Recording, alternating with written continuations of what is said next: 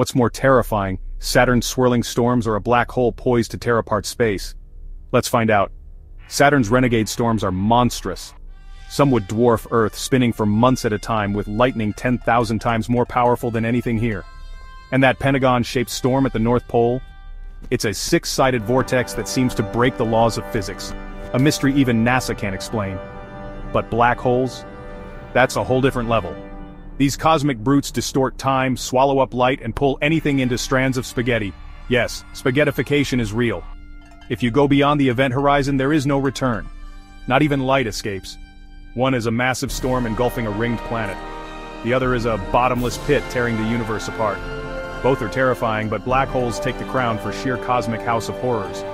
So if you love space facts that blow your mind, secrets about black holes and the universe around us, smash that subscribe button because your journey into what comes after the universe is just beginning.